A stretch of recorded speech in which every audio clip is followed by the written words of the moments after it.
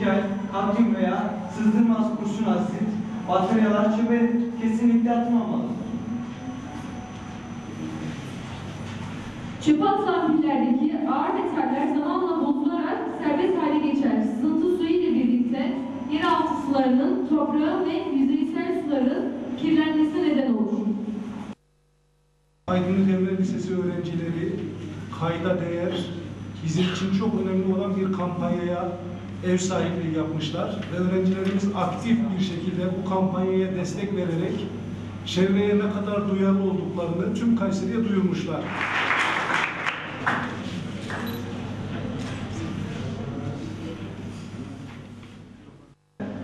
Hani belediye olarak geri dönüşümden hariç bu atık, tehlikeli atıklara giren pili toplama işine e, geçen yıl başlamıştık. Dışarıda da görüleceği gibi biraz sonra piller teslim alırken bu iş için özellikle e, tüm muhtarlıklara, okullara pil kumbaraları monte ettik. Bu konuyla ilgili okullarda eğitim verdik ve dışarıda gördüğünüz gibi büyük bir pil toplama aracını bu işe ayırdık.